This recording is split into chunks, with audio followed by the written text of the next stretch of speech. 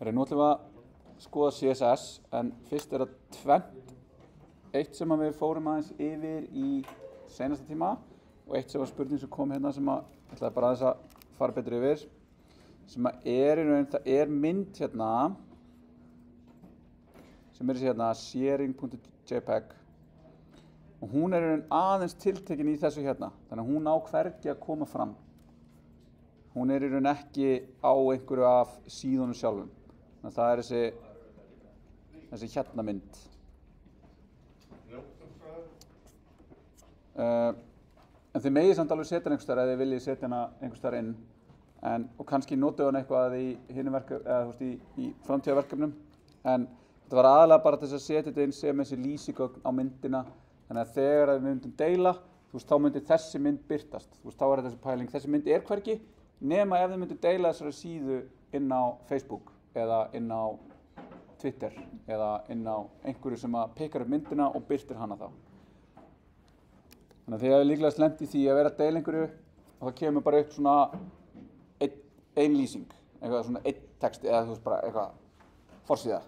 Þú veist þá er það, það er ekki búið að huga að því hvernig þetta á að vera. Það er bara að standa þetta alltaf dagstrákar eða? Byrjuðu sko fimm mínútur í? Nei. uh, hitt er er, er, er.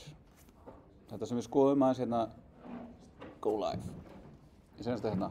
Þarna er hann, kallinn uh, sem er þetta ax.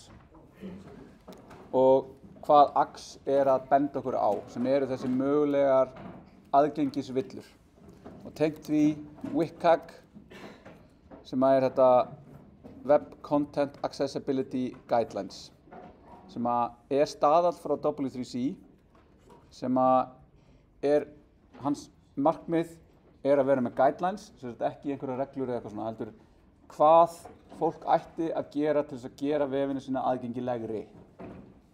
Því það er margt sem þarf að huga að og það er margt fyrir flókið efni, þannig að það er ekki bara það að við þurfum eitthvað að hljóða nota strong eða, eða, eða em. Veist, þegar við erum komið flókið efni sem notar javascript til þess að keira áfram einhverja virkni, þannig að ég íta einhver takka og þá byrtist einhver gluggi og inn í þeim glugga get ég íta einhvern annan takka sem opnar einhvern annan glugga, þú veist svona mótalar inn í módulum. Að gera það aðgengilegt er mjög erfitt. Þannig að fyrsta, fyrsta sem við ættum bara að hugsa er bara getum við slefti, getum við nota bara eitthvað einfalt, bara hyperlink yfir á eitthvað annað og bara nota back og það getur kannski verið besta lausnin til þess að byrsta það efni. En allavega það sem að þessi staðall gerir er í raun að koma með leiðir til þess að gera eiginlega allt efni sem við smíðum í HTML aðgengilegt. Og nú ekki þetta er reyndar einhver nýtt hérna, en veist þetta fer yfir þetta, þessi principle sem er í raun þetta að við getum verið með efnið okkar að við getum í raun persífa það og þá ekki bara með augunum með því að sjá þetta koma og smetla á, á augunum og vera tólkað í heilum heldur þessu tölum í senstu tíma líka að geta hlustað á það og jafnvel þú veist geta fundið það með breil lesara þannig að það er, veist, það er ekki bara augun sem við notum til þess að neyta efnis í tölvum uh, Svo að ég geti nýtt efnið, ég get, ég get skilið það, ég get skinnjað það, en ég get líka unni með það. Ég get skráð mig á tíma í heilsugæslunum minni.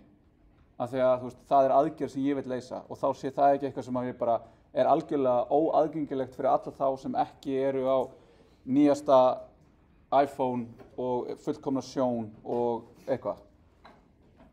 Og síðan uh, understandable sem er þá bara þetta veist, að huga að því hvernig við komum frá okkur efni. Við séum ekki að nota tækniorð, við séum ekki að nota uh, eitthvað sem er uh, innifalið í ok, þeim kúltúr sem við lefum í. Þannig að, þú veist, já, þetta er bara hérna við hliðin á, á hérna, uh, ég veit ekki, jól, jólabúð eða eitthvað, þú veist, mjög liðlegt dæmi en eina sem er dætt í hugsunum. Þetta sé eitthvað sem að fólk geti skilið og þá er oft líka bara að skrifa það fyrir bara uh, yngri manneskjur skrifa það bara þannig að tíu ára krakki geta skilið það og þá yfirleitt er það þannig að þá er það bara einfaldra og betra fyrir alla sem er svolítið það sem aðgengi snýst um Vist, við reynum að gera eitthvað og með því þá verður bara allt í einu allt betra. Og svo að lokum robust. Það er að segja að við séum ekki bara að hugsa um þetta í núinu, við erum ekki bara að hugsa um þetta fyrir núverandi tækni, fyrir núverandi notendahóp, heldur eru við að segja, ok, hvað geti ég gert hérna, þannig að þetta geti hugsanlega líka virkað vel í 3D umhverfi, í einhverju svona, einhverju svo leiðis. Og þá er það ekkert endilega að, uh, hérna, eitthvað sem við getum gert, en svo getur það líka bara verið inn í þetta að, að við erum að passa okkur upp að nota gilt HTML, þannig að vafrar framtíðunar er auðveldra með að lesa efnið okkar.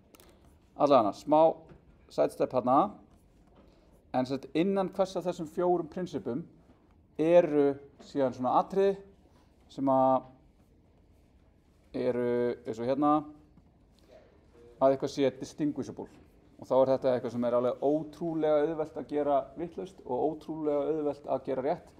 Ja, ok, það er út af því hversu ofta er gert vittlust þá er það ekki ótrúlega auðvelt. Og þetta er til dæmis dæmið um það að ég er að nota núna eins og fyrir ykkur sem er að læra að forrita, já þetta er gæðvegt auðvelt, þú gerir bara svona, svona, svona og það er bara eitthvað, ég skildi ekki sem þú varst að gera. Þannig að það er þú veist að passa upp á að nota ekki svona orð. Uh, og þá er það, þetta skilgrinir það hversu hátt hlutfall má vera á milli í raun, kont, þetta contrast ratio sem ég veit ekki alveg hvað er íslenska, uh, hlutfall skerpu stigs á milli lita sem er í forgrunni og í bakgrunni. Þegar við kannski séum vefi sem eru með rosalega litlu letri, sem er rosalega grátt á hvítum bakgrunn og skýt lúkar fyrir einhvern, en er bara engan veginn þægilegt að lesa. Og, og þetta er í raun bara, hvað er í raun lesanlegt, er rosalega háð samhengi.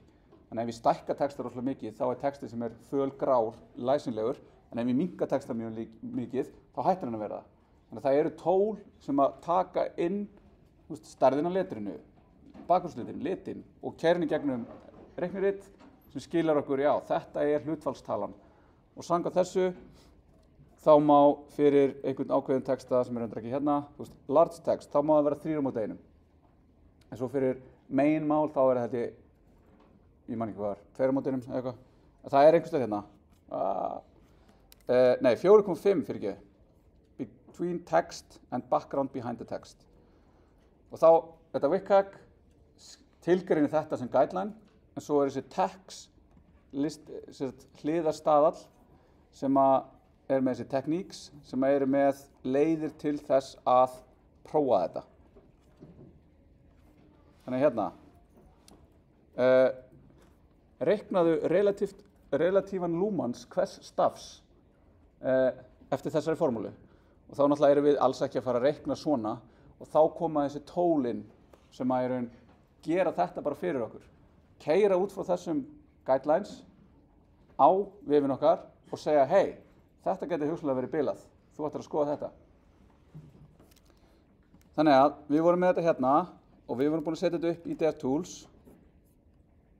ég ætla að gera svona og stakka þetta. Þannig að hérna er Axe og ég keiri bara þetta. Og þá er þetta eins og W3C validatorinn. Ég keiri tólið og hérna fæ ég images must have alternate text highlight og þá er knúð er ekki með allt text. Það er svona, hann er ekki alveg að brosa en hann myndi öruglega að fara í bros ef við myndum bæta við allt texta ég held að. Þannig að það er bilað. Og þá sjáum við hérna þetta. Og ég get nú ekki, það er ekkert svakalega aðgengilegt hérna, ég get ekki stækkað þetta. En þá getum við séð hérna, þetta er tengt VICAG 1.1.1 og við getum farið hérna VICAG 2.1 AA Best Practices On. Þá fáum við fleiri villur. All page content should be contained by landmarks. Þannig að það ætti raun að vera uh, landmark eigindin sem eru eins og section eða main eða nav eða eitthvað þessu, footer, header. Að þau skilgrinnar en hvað eru svæðin sem við erum með, landmarks samlíkingin.